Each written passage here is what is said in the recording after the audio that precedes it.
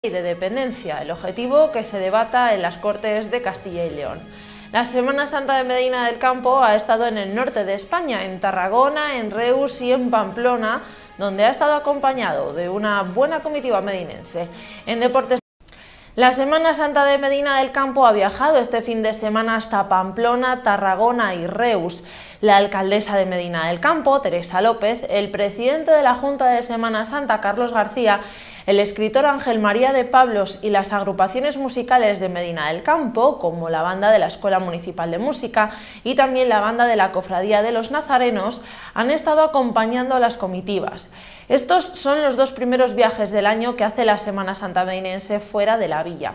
Todas las presentaciones se han completado con una exposición fotográfica mostrando instantáneas de la Semana de Pasión de Medina y también por la presentación de un PowerPoint explicando las curiosidades de la fiesta de interés turístico internacional.